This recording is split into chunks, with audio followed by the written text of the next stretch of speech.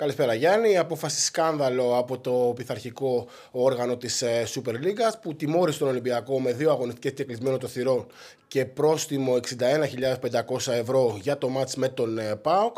Ε, μια απόφαση που δεν στηρίζεται ουσιαστικά πουθενά ούτε από το φύλλο αγώνα ούτε από την έκφεση του παρατηρητή. Γι' αυτό και ακριβώς οι Ερυθρόλευκοι αναμένεται να κάνουν έφεση με στόχο να ρίξουν την ποινή και να μην χρειαστεί να αγωνιστούν χωρίς κόσμο στα δύο μάτς που έρχονται εντός έδρας με την Ελάρισα και τον Παναθηναϊκό. Να τονίσουμε πως ε, για άλλη μια φορά βλέπουμε στο πρωτάθλημα να τηρούνται άλλα δύο μέτρα και δύο σταθμά, καθώς ο Ολυμπιακός τιμωρείται αυστηρά για όσα συνέβησαν με τον Μπάουκ, την ίδια ώρα που σε αγώνες της Τούμπας υπήρχαν πολύ χειρότερα περιστατικά, χωρίς όμως να τιμωρηθεί ο Πάουκ, γλιτώνοντα με μικρά πρόστιμα.